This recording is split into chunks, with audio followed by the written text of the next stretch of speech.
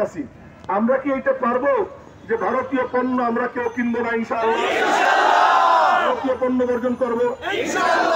দোকানে কোন দোকান থেকে আমরা ভারতীয় পণ্য কিনবো না এবং এই কথা সারা বিশ্বের মুসলমানদের কাছে ছড়িয়ে দেওয়া যে ভারতীয় পণ্য বর্জন করতে হবে। এবার আমরা আমরা আমাদের অধ্যকার মানববন্ধন, বিশ্বনবী হজরত মোহাম্মদ সাল্লাহ আলী আসাল্লাম সম্পর্কে ভারতের নুপুর শর্মা ও নাবিল কুমার বিজেপির দুই কুলাঙ্গার নেতা, এদের অবমাননাকর বক্তব্যের তীব্র- নিন্দা জানাচ্ছে এই পরিষদ। দ্বিতীয় অধ্যকার মানববন্ধন ভারত সরকারের কাছে অনত বিলম্বে নুপুর শর্মা ও নাবিল কুমার জিন্দালকে গ্রেপ্তার করে দৃষ্টান্তমূলক শাস্তির আওতায় আনার জোর দাবি জানাচ্ছে। তিন নম্বর অধ্যকার মানববন্ধন ভারতের বিজেপি সরকারকে বিশ্ব মুসলিমের কাছে নিঃশর্ত ক্ষমা প্রার্থনা করার আহ্বান জানাচ্ছে। মানববন্ধন বাংলাদেশ সরকারের কাছে আহ্বান জানাচ্ছে। সংসদের চলতি অধিবেশনে এ বিষয়ে নিন্দা প্রস্তাব উত্থাপন আনয়ন করতে হবে। পাঁচ নম্বর অধ্যকার মানববন্ধন বাংলাদেশ সরকারের কাছে আহ্বান জানাচ্ছে। অনতি বিলম্বে ভারতীয় হাই কমিশনারকে তলব করে আনুষ্ঠানিকভাবে এই ঘটনার নিন্দা জানাতে হবে। সবাই সাথে একমত তো, ইনশাআল্লাহ।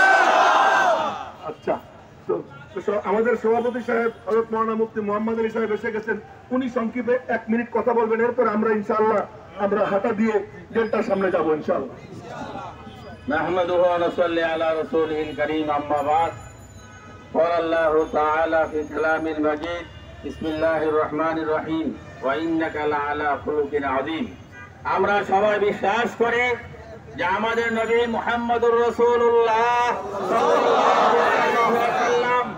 এই পৃথিবীর মহামানব এবং সবচেয়ে উন্নত চরিত্রের অধিকারী।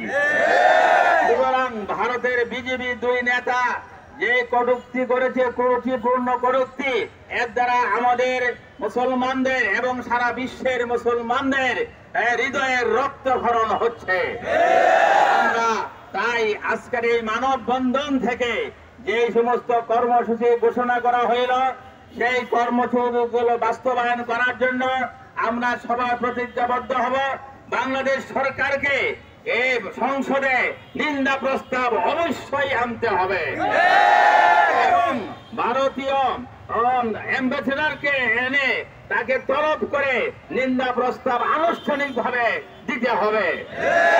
তারা এর পরবর্তী যদি বিজেপি সরকার তাদের দৃষ্টান্তমূলক শাস্তি না দেয়, আমরা ইনশাআল্লাহ আরও কঠোর কর্মসূচি দিব। আল্লাহ তাআলা আমাদের সবাইকে এই কথাগুলোর উপর নবী প্রেমের উপর, নবীর আশেখ হয়ে থাকার তো করুন।